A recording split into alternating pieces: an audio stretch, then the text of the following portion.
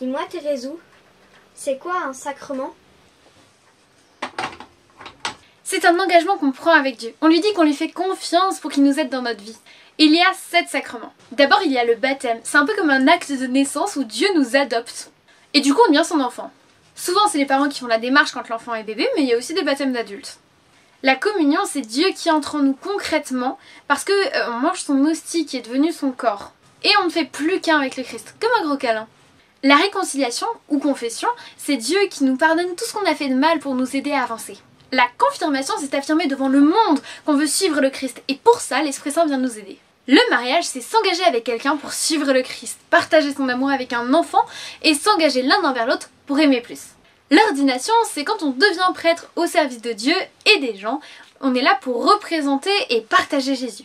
Le sacrement des malades, c'est se confier à Dieu dans la difficulté, dans la maladie, euh, pour que Dieu nous donne sa force en fait. Et on peut même être guéri, c'est pas un truc de fou.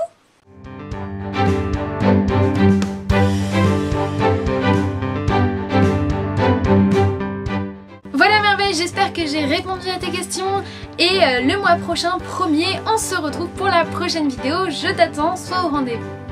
Donc n'hésite pas à t'abonner pour pas la rater, mettre la petite cloche. Tu peux aussi partager la vidéo à tous tes potes pour me faire connaître un petit peu. Laisse-moi un commentaire si t'as la moindre question, euh, d'autres définitions que tu connais pas. N'hésite pas, bah ouais, moi j'ai mon propre vocabulaire, je suis cato. C'est comme un mécanicien qui parle le mécanicien. Euh, c'est pareil finalement. A très bientôt merveille